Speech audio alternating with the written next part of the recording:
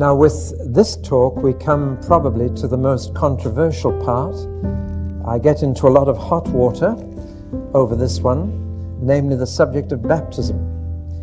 Uh, it is probably the hottest issue connected with being born again in every part of the church, not just those that are baptizing babies, but even those who are baptizing believers often have real difficulty in seeing where baptism fits into salvation, seeing where it fits into being born again, seeing where it fits into entering eternal life here and now. There are many, for example, who, even when believers are baptized, don't realize that what God is doing in that act and see only the human side. Uh, some see it of it as a wet witness kind of thing, or some others simply as an act of obedience. And you'd be amazed how many pastors of believer baptizing denominations that I speak to who can't answer the question, What is God doing for a believer when they're baptized? They see it purely as a human act. I was speaking on this once, and there was a dear lady from Trinidad in the congregation who was obviously used to joining in sermons, if you know what I mean. Preach it, brother, preach it, brother.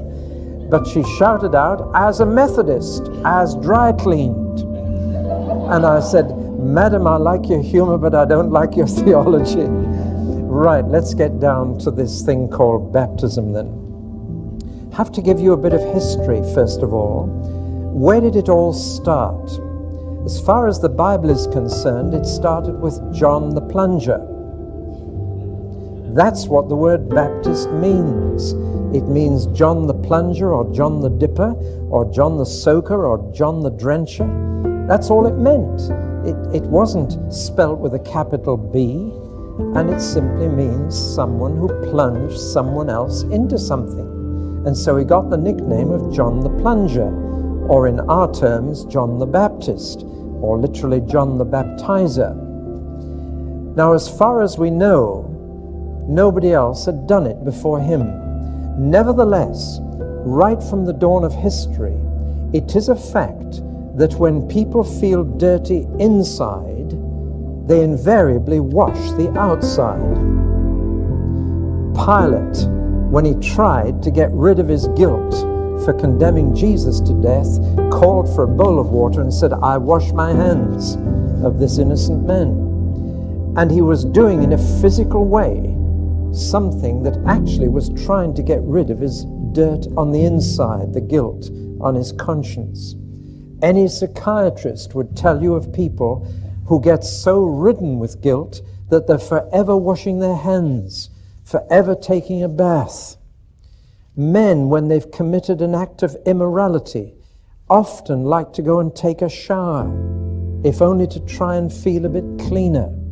So, from time immemorial, there has been a ritual meaning to washing in water and not just a physical.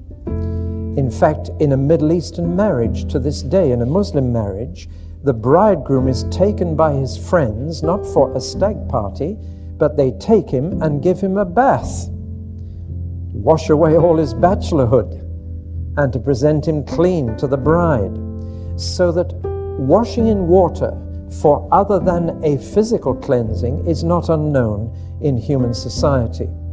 Indeed, in the Old Testament, the Levitical priests would two things were done to them when they were consecrated for the priesthood. They were washed in water and anointed with oil.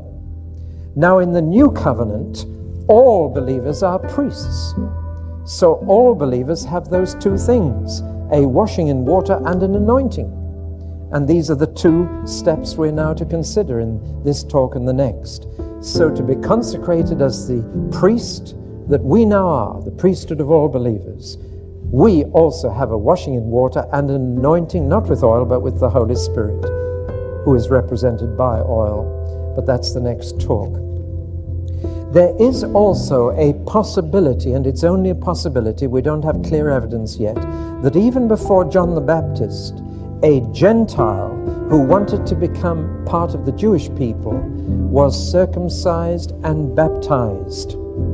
And many have argued that John was simply copying what's called proselyte baptism of the Jews? If so, then his baptism must have been very offensive because he was saying to the Jewish people, You need to be baptized.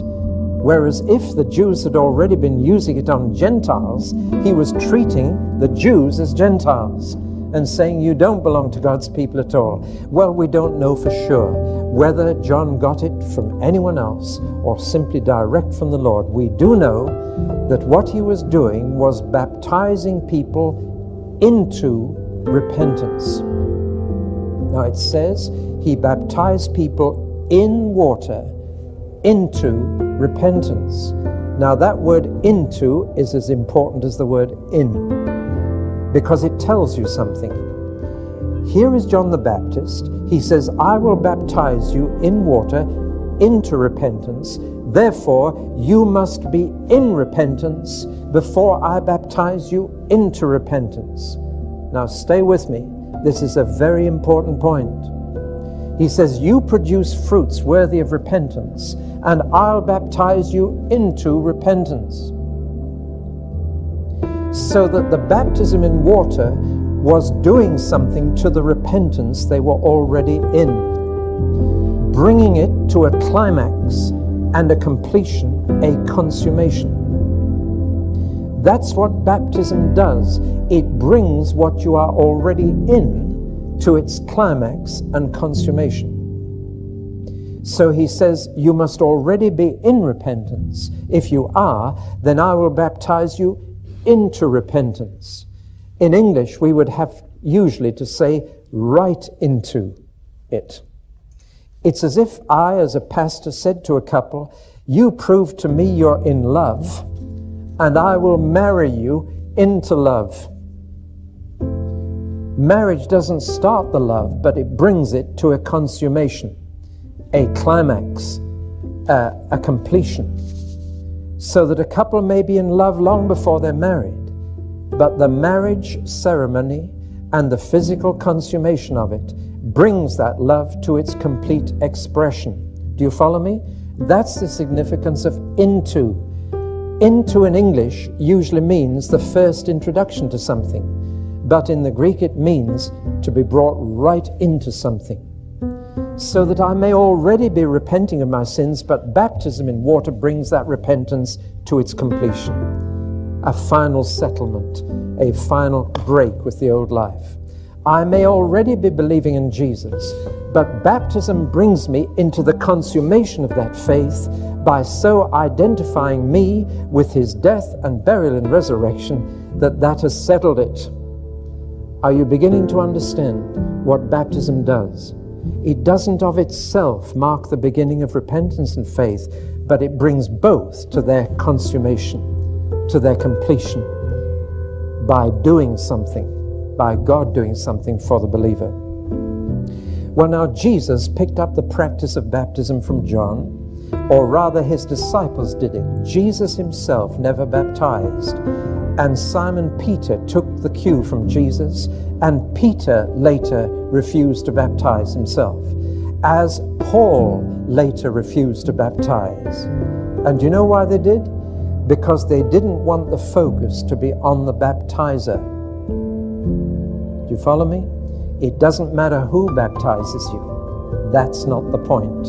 And so Jesus wouldn't do it, so nobody could say, I had a better baptism than you. Jesus baptized me. And Peter wouldn't baptize Cornelius. He told others to, so that Cornelius would never say, I had Simon Peter baptize me. If you ever say, Mr. So and so baptized me, you've misunderstood the whole thing.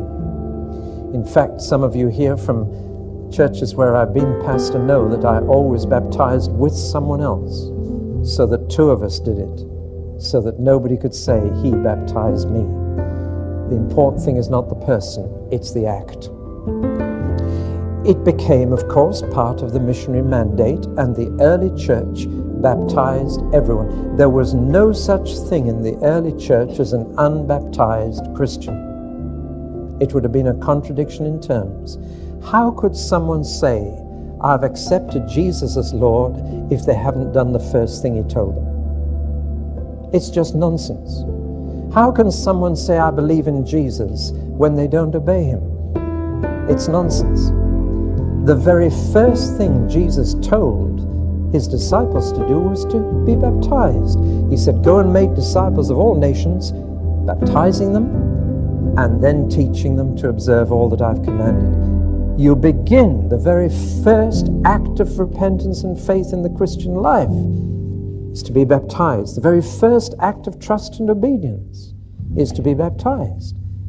And it would have been astonishing to the apostles in the New Testament that people could consider themselves disciples of Jesus without it, because that's the very first expression of your repentance and faith. Now, how was baptism done in the New Testament? Well, they ducked them. the word baptize itself is a Greek word and it means only one thing. I've written down all its meanings.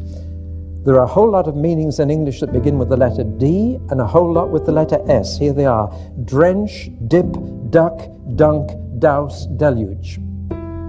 And here are the S's soak, sink, swamp, steep, saturate. Those are all the English words that correspond to the single Greek word baptizo, from which we get our word baptize. I'll tell you something now which you probably don't know and which will shock you.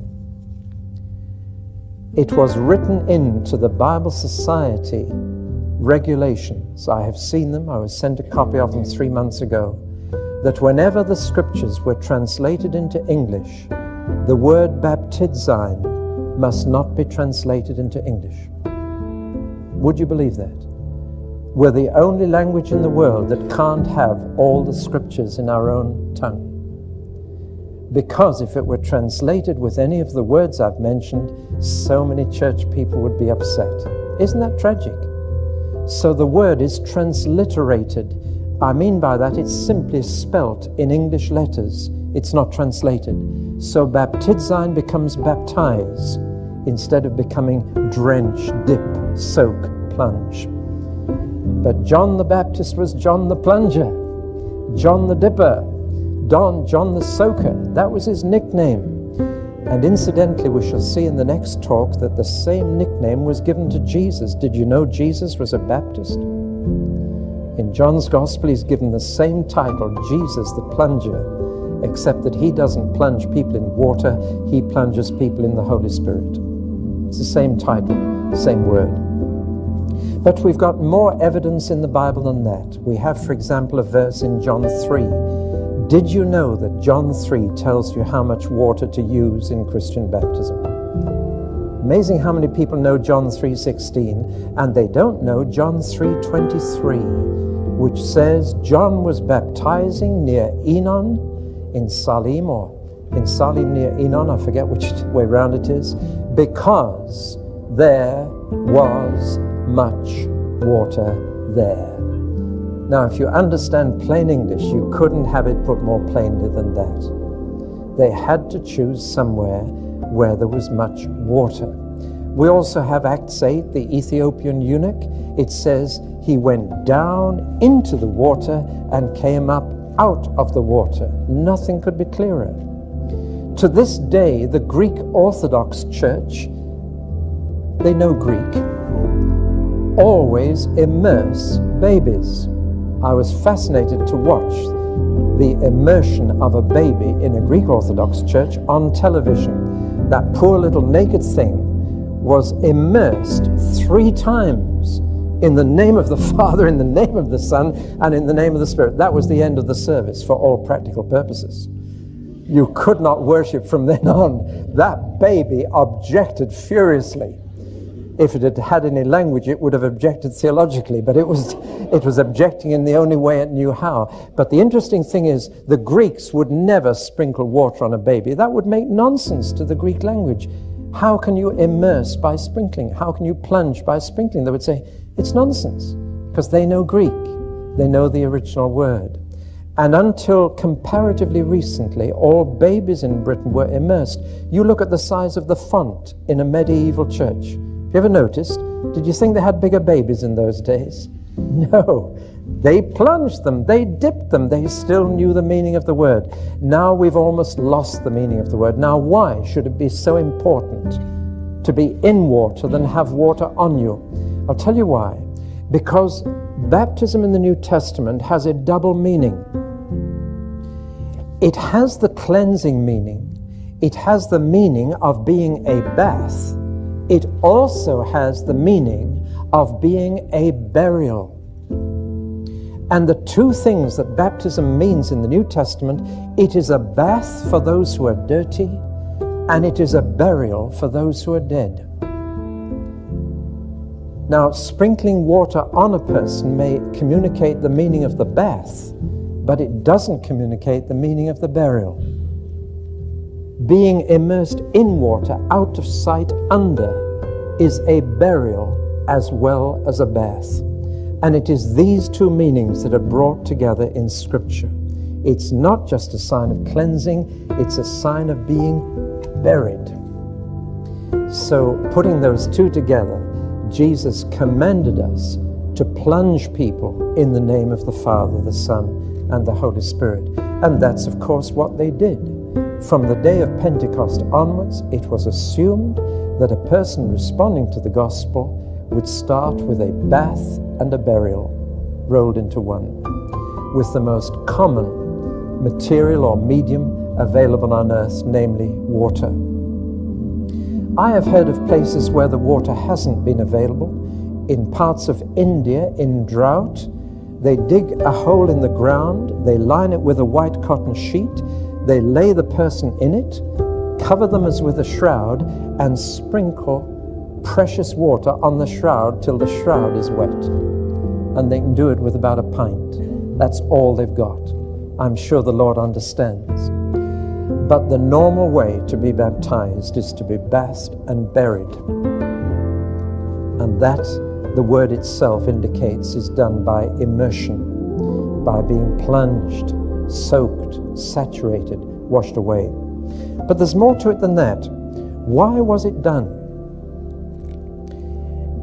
If you read the New Testament, there are 31 passages which tell you why they baptize people.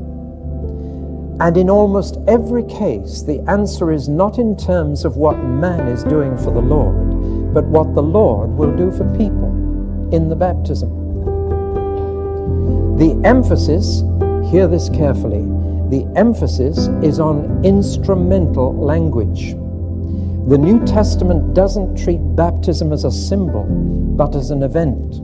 The New Testament talks of what it's for, what it will achieve, what it effects. And when you read those passages, they are astonishing. Let me run through a few. Mark 16 says, He who believes and is baptized will be saved. Here is the word saved directly linked to baptism, which is astonishing. Take John 3. Nicodemus said, How can a man be born again? He can't get back into his mummy's tummy and come out again. How can he be born again? And Jesus said, No. You don't have to come out of mummy's tummy to be born again. You need to be born again out of water and spirit. And the interesting thing is, he uses the word out of, which means you've got to get into something to come out of it. New life comes out of water, out of spirit. And yet, as I told you earlier, I've heard so many sermons on you must be born again, not one of which explained what the word water meant. Nicodemus, I have no doubt, understood that Jesus was criticizing him as a Pharisee for refusing John's baptism of repentance, for that was his condition. And most commentators through the ages have seen in John 3 5 a reference to water baptism. The joy of just being able to take God's word as it stands. When God says water, he means water. That's all. And whenever you find the word water in John's gospel, it means water. If it ever means anything else, he qualifies it with an adjective like living water. Then you know that's not water. But when he says water, it's water. When he says Jesus changed water into wine, he means water. And he didn't mean Ribena, he meant wine. But it was water. And when it says, John says, I baptize in water, but you shall be baptized in the Holy Spirit, it means water. And when it says John was baptized, baptizing at Enon near Salim because there was much water there, he means water. Whenever you read water, it means water. Don't try and make the Word of God difficult for yourself. Jesus says, born out of water and spirit. And we know what spirit means, we know what water means. Move on. Peter, on the day of Pentecost, when they said, What must we do? It says he told them many other things. We don't have the record of all. He counseled them over. I'm sure he counseled them in the four things I'm telling you about. But he said, Repent and be baptized, each one of you be plunged, for the forgiveness of your sins. That's what it's for. Later, Saul of Tarsus met the risen Jesus on the Damascus Road. Three days later, a dear old man called Ananias came and said, Brother Saul. Took a, a lot of grace to say that. Brother Saul, what are you waiting for? Rise and be plunged and have your sins washed away, calling on his name. So it goes on all the way through the New Testament. Ephesians 5, Paul says that Jesus has cleansed, cleansed his church by the washing of water with the word. The washing of water, and that means water. Or Hebrews 10 says, Let us approach his throne with full assurance of faith, having our bodies washed with clean water and our consciences sprinkled. Sprinkle your conscience, but have your body washed in clean water. It's as plain as daylight. I think the, the most startling statement is Peter. In Peter's letter, he says this listen, baptism now saves you, not by washing dirt from your body, but by an appeal to God for a clean conscience through the resurrection of Jesus from the bed from the dead. Listen, baptism now saves you. And the word saves there means what it means everywhere else. And yet, still, the majority of Christians can't relate baptism to salvation. Isn't that amazing? And the most frequent question I get asked is Must you be baptized to be saved? Well, how often does the Word of God have to say it before we'll believe it? Jesus said, He who believes and is baptized will be saved. Peter says, Baptism now saves you. This is 1 Peter 3:21, not by washing dirt from your body, but by an appeal to God for a clean conscience. All the apostles treat baptism as an event in which God is doing something. And they liken it to events connected with water in the Old Testament where God also did something for his people. Paul, for example, says that baptism is like the crossing of the Red Sea to the Jew. Now, what was it to the Jew to cross the Red Sea? It says when the Jews crossed the Red Sea, they were baptized into Moses. Now, they were already following Moses for three days. So it didn't start their following of Moses. What it did, it brought them to the climax where Pharaoh was left on the other shore. And they had only one boss now, Moses. As long as they were the other side of the water, they were in Pharaoh's reach. But what crossing the Red Sea was to the Jew in relation to Pharaoh, baptism is to the Christian in relation to Satan. Romans 6 says that once you've been buried with Christ in baptism, sin has no more dominion. You're on the right shore of the Red Sea. You are literally delivered from the territory of Satan. Now that makes baptism a deliverance. And I want you to realize that a lot of Christians wouldn't need a ministry of deliverance if they saw what their baptism had actually done. Can you understand what I'm saying? As Pharaoh's troops were drowned in the water of baptism, Satan's demons are drowned in the waters of baptism. And sin has no more dominion over you.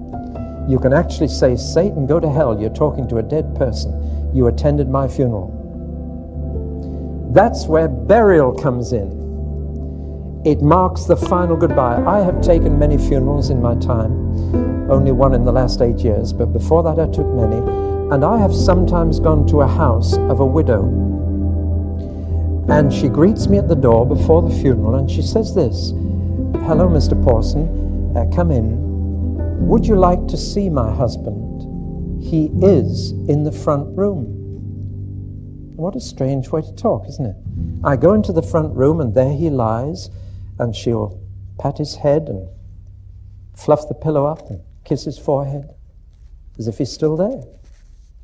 Then we go to the funeral and we come back from the cemetery for the ham tea. And over the ham sandwich, she says to me another thing. She says, Mr. Pawson, my husband was a good man to me. Now, why, before the funeral, did she say he is in the front room? And after the funeral, he was a good man. I'll tell you why because the burial is the final end of a life. It's not the death that ends your relationship, it's the burial. You know you'll never see them again, never touch them again. That's it.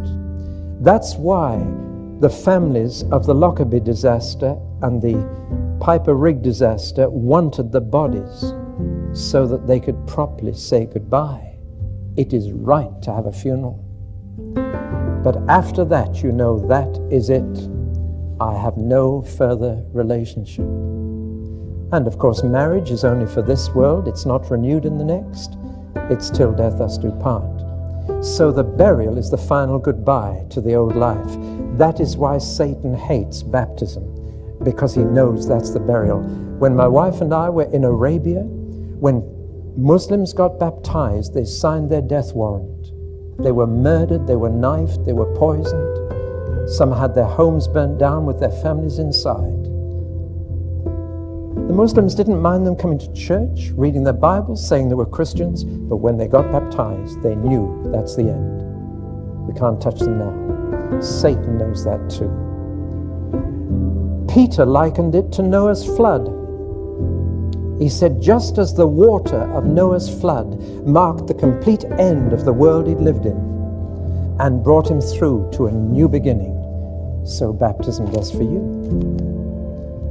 It is a bath and a burial. And some of you must have heard me talk about a young man who lives only a mile or two from our present home. And when he came to Christ a few years ago, he was a hell's angel and he'd been into all kinds of things he shouldn't have touched. And he knew that the first thing he should do was to get baptized. But he didn't want to be baptized because he was covered with tattoos. And he noticed that church people didn't go in for tattoos much. And he knew that your shirt went transparent in the water. So he went to a plastic surgeon and he said, Could you get this tattoo off my body? Because one of his tattoos was a picture of the devil which he had done as a hell's angel. And he couldn't face being baptized and letting Christians see the devil on his body. So he said to the plastic surgeon, Could you get this off? And the surgeon said, Not on the national health, that's cosmetic surgery. It'll cost you a few hundred pounds and take months. He said, I could burn it off, but that leaves a scar. He said, uh, What we normally do is to graft some skin from another part of your body to replace that skin. And the boy said, Well, I haven't the money and I haven't the time. So he went and asked a friend of mine to baptize him. I think he was baptized in a swimming pool. He went down in the water to bury his past, to wash his sins away. And when he came up out of the water, one to two had gone. Just one, not the rest, just that one had gone. In that water, H2O, God had washed the devil off his child. God wasn't going to have the mark of Satan on that child. Now, if you tell that boy that baptism is only a symbol, I think he'll laugh in your face. He saw it as a deliverance. And just as every Jew to this day celebrates Passover and remembers the mighty hand of God getting them through the water of the Red Sea, so a Christian looks back to the day of his funeral. I have a friend, a pastor, who, when he baptizes people, says, Now it's your funeral, enjoy it. You can throw that funeral in Satan's face forever afterwards. I've been buried. And as sure as Jesus was buried, I've been buried. When Jesus came out of that grave, he had no more contact with Pilate, no more with Satan, no more with Annas and Caiaphas.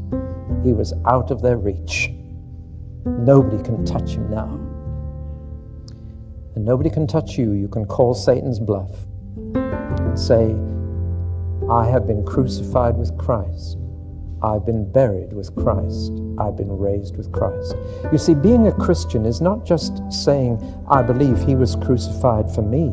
It is to be able to say, I have been crucified with him. It's not just enough to say, I believe he was buried for me. I need to be able to say, I have been buried with him. It's not just enough to say, I believe Jesus rose from the dead. We need to be able to say, I've been raised to a new life. In other words, those historical facts on which our faith is based need to become my own experience and history so that I now know them to be true because they've happened to me.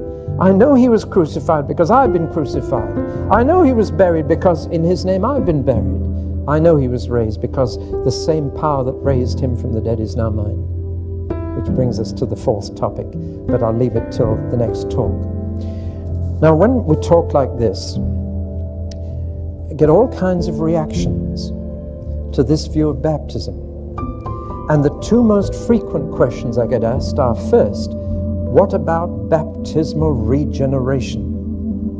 That's a real bogey to some Christians. I'll explain what it means in a moment. And the other, what about infant baptism? So I better say a little about these two things, but I will also say that there's a whole appendix in this book on infant baptism, in which I try and show how it arose, why it arose, how to handle it today, and so on. And I haven't time now to go into it. I will just have to be totally honest and say that in my understanding of the normal Christian birth in the New Testament, I cannot fit infant baptism into that understanding. I'm sorry. I know that offends many Christians, but I just cannot fit it in. I'll tell you why.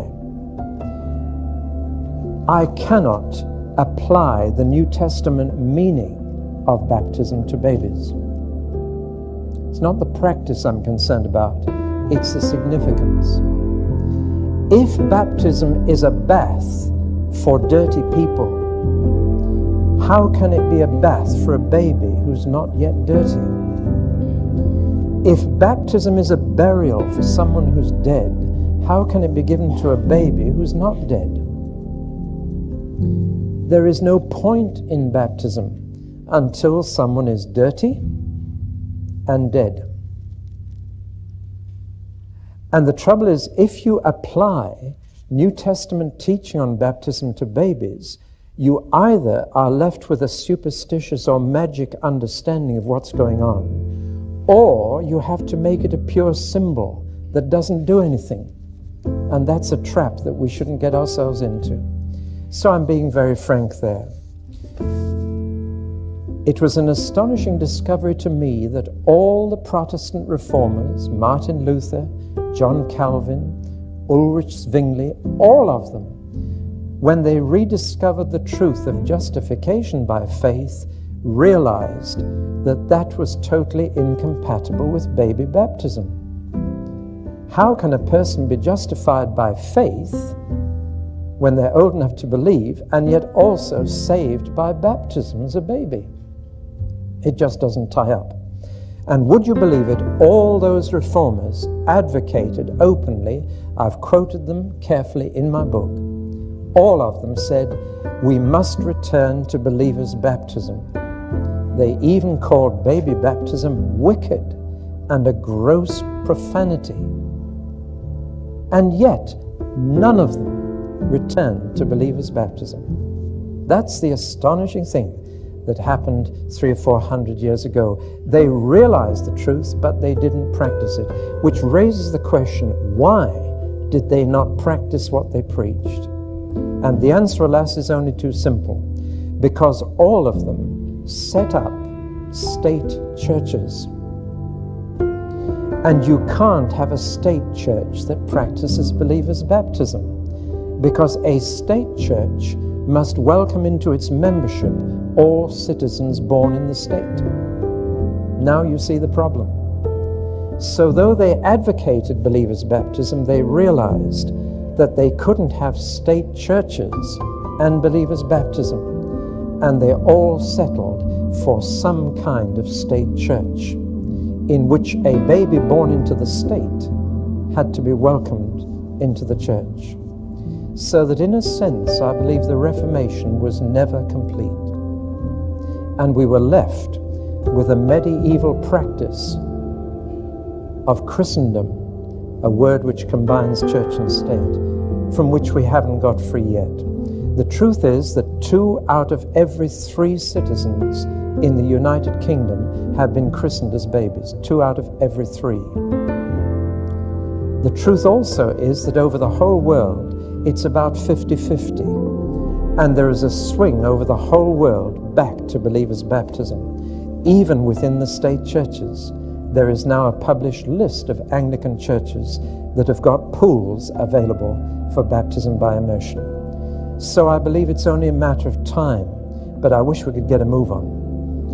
And the most worrying thing to me is this that many thousands who make a decision or a commitment, as we say, at a Billy Graham crusade or at any big mission like that, at the very moment they most need a bath and a burial, they're told you can't have it because you've been christened. Now, I think that's robbing them of a vital means of grace. It's robbing them of part of the new birth. And I believe it's time for us to go back to the Bible in honesty and say, can we apply the meaning of New Testament baptism to babies? My answer is no, we can't. If baptism actually is for the forgiveness of sins, what's that got to do with a baby? If baptism is for the washing away of your sins, what's that got to do with a baby? Listen, baptism has nothing to do with getting you out of hell and everything to do with getting you cleaned up. I remember when I baptized Cliff Richard, and he wrote in his autobiography a very vivid description, free of all jargon. He said, David Pawson washed me, rinsed me, and hung me up to dry. And I never felt so clean in all my life. You do feel clean, inside and out. God is bringing your forgiveness to its consummation bringing your repentance to its consummation, bringing your faith to its climax. As a marriage brings the love between two people to its consummation, which is yet the beginning of the marriage, so baptism brings my repentance and my faith to its climax.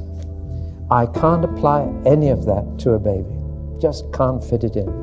In other words, people who ask me then, what about baptismal regeneration? That's a phrase for the belief that baptism of itself saves.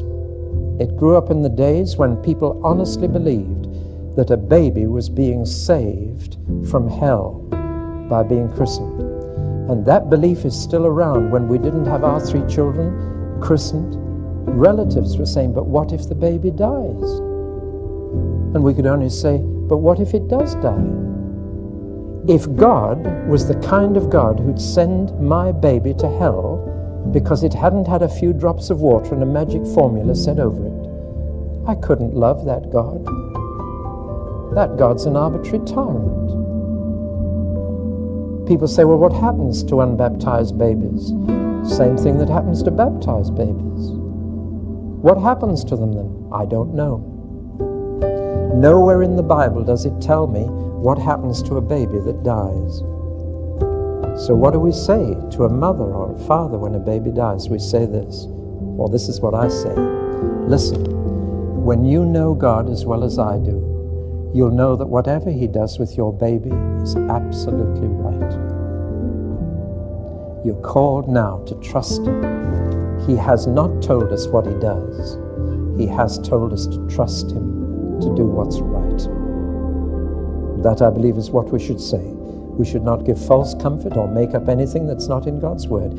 He has seen fit not to tell us, but He's told us to trust Him.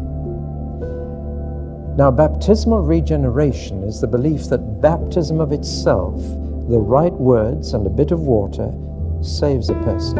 I do not believe that. I don't even believe in baptismal regeneration of believers. What I do believe is that in the context of a penitent believer coming into that water, that water is a means of grace and is going to have a spiritual effect on them by bringing their forgiveness, their cleansing, their break with the old life to its climax and consummation, and is part of their being saved, not from hell, but from their sins. Part of enabling them to live a clean, righteous life here. I'll be saying more about this in the very last talk, but I believe we've got to get away from a gospel that talks about being safe from hell and into the New Testament gospel of being salvaged from our sins. If you're only interested in being safe from hell, you will not see what baptism does for you or how it fits in. If you're concerned to be cleaned up from your sins, you will see this as God's amazing offer of His grace to start you clean. And the next talk we'll talk about the other baptism which every believer needs to live right. And that's the baptism in the Holy Spirit.